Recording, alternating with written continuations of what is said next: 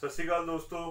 Destiny planner ਦੇ ਇਸ YouTube ਤੇ ਤੁਹਾਡਾ ਬਹੁਤ ਬਹੁਤ ਸਵਾਗਤ ਹੈ। ਅੱਜ ਦੀ ਇੱਕ ਵੀਡੀਓ ਤੁਹਾਡੇ ਲਈ ਗੁੱਡ ਨਿਊਜ਼ ਹੈ, ਲੇਕਿਨ ਵੀਡੀਓ ਸ਼ੁਰੂ ਕਰਨ ਤੋਂ ਪਹਿਲਾਂ ਪਲੀਜ਼ ਡੈਸਟੀਨੀ ਪਲੈਨਰ ਦੇ ਇਸ ਚੈਨਲ ਨੂੰ ਸਬਸਕ੍ਰਾਈਬ ਕਰ ਲਓ ਤਾਂ ਕਿ ਜੋ ਵੀ ਸੀ ਲੇਟੈਸਟ ਵੀਡੀਓ ਜਾਂ ਜੋ ਵੀ ਲੇਟੈਸਟ ਨਿਊਜ਼ ਸਾਡੇ ਤੱਕ ਪਹੁੰਚਦੀ ਹੈ ਤੁਹਾਡੇ ਤੱਕ ਈਜ਼ੀਲੀ ਪਹੁੰਚਾ ਸਕੀਏ। ਅੱਜ ਦੀ ਜਿਹੜੀ ਵੱਡੀ ਨਿਊਜ਼ ਹੈ, ਇੱਕ ਗੁੱਡ ਨਿਊਜ਼ ਹੈ ਉਹਨਾਂ ਸਟੂਡੈਂਟਸ ਲਈ ਜਿਹੜੇ ਸਟੂਡੈਂਟ ਸਤੰਬਰ ਇਨਟੇਕ ਲਈ ਅਪਲਾਈ ਕਰਨਾ ਚਾਹੁੰਦੇ ਸੀਗੇ ਔਰ 30 ਸਤੰਬਰ ਤੱਕ ਉਹਨਾਂ ਨੇ ਆਪਣੀ VFS ਬੰਦ ਰੱਖੀ ਸੀ ਔਰ ਵੈਬਸਾਈਟ ਤੇ 14 ਤੋਂ 16 ਵੀਕ ਦਾ ਉਹਨਾਂ ਨੇ ਆਪਣਾ ਇੱਕ ਟਾਈਮ ਦਿੱਤਾ ਸੀਗਾ ਪ੍ਰੋਸੈਸਿੰਗ ਟਾਈਮ ਔਰ ਬਹੁਤ ਸਟੂਡੈਂਟਸ ਦੁਵਿਧਾ ਵਿੱਚ ਸੀਗੇ ਕਿ ਅਸੀਂ ਕਿੱਦਾਂ ਅਪਲਾਈ ਕਰੀਏ, ਅਗਰ ਅਸੀਂ ਅਪਲਾਈ ਕਰਦੇ ਹਾਂ ਤੇ ਸਾਡਾ ਸਤੰਬਰ ਇਨਟੇਕ ਨਿਕਲ ਨਾ ਜਾਵੇ, ਅਸੀਂ ਜਨਵਰੀ ਇਨਟੇਕ 'ਚ ਅਪਲਾਈ ਕਰ ਸਕਦੇ ਹਾਂ। ਉਹਨਾਂ ਲਈ ਹੁਣ ਇੱਕ ਗੁੱਡ ਨਿਊਜ਼ ਇਹ ਆਈ ਹੈ ਕਿ ਕੱਲ ਸ਼ਾਮ ਨੂੰ ICCRC ਨੇ ਇੱਕ ਆਪਣੇ ਵੈਬਸਾਈਟ ਤੇ ਇੱਕ ਨਿਊਜ਼ ਪਾਈ ਹੈ ਕਿ ਜਿਹੜੇ ਬੱਚਿਆਂ ਨੇ ਆਪਣੀ ਐਪਲੀਕੇਸ਼ਨ ਲਾਣੀ ਆ, ਉਹ ਆਪਣੀ ਐਪਲੀਕੇਸ਼ਨ ਈਜ਼ੀਲੀ ਆਨਲਾਈਨ ਅਪਲਾਈ ਕਰ ਸਕਦੇ ਹੋ।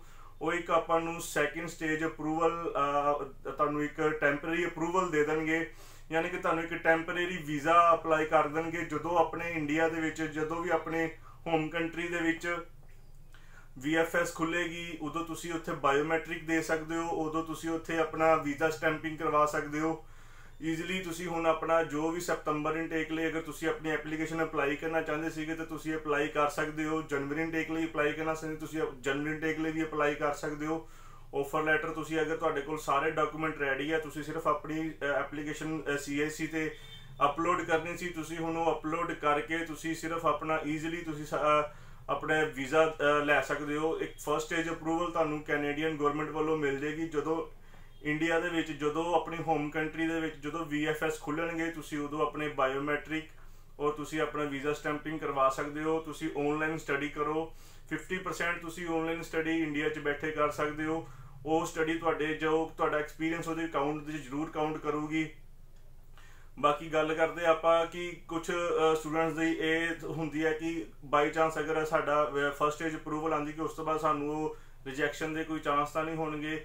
ਦੇਖੋ ਰਿਜੈਕਸ਼ਨ ਦੇ ਉਹਨਾਂ ਨੇ ਨੀਚੇ ਲਿਖਿਆ ਹੈ ਕਿ ਅਗਰ ਕੋਈ ਬੰਦਾ, ਅਗਰ ਕਿਸੇ ਦੀ ਕੋਈ ਪ੍ਰੋਫਾਈਲ 네ਗੇਟਿਵ ਹੈ 네ਗੇਟਿਵ ਦਾ ਮਤਲਬ ਹੈ ਕਿ ਅਗਰ ਤੁਸੀਂ ਯੂਐਸਏ ਚ ਇਲੀਗਲ ਰਹਿ ਕੇ ਆਏ ਹੋਏ ਹੋ, ਉੱਥੇ ਤੁਹਾਡੇ ਬਾਇਓਮੈਟ੍ਰਿਕ ਹੋਏ ਹੋਏ ਨੇ, ਤੇ ਤੁਸੀਂ ਅਗਰ ਕੈਨੇਡਾ ਚ ਬਾਇਓਮੈਟ੍ਰਿਕ ਦੇਣ ਜਾਂਦੇ ਹੋ, ਤਾਂ ਤੁਹਾਡਾ ਉਹ ਪਿਛਲਾ ਡਾਟਾ ਆਲਰੇਡੀ ਨਿਕਲ ਆਏਗਾ।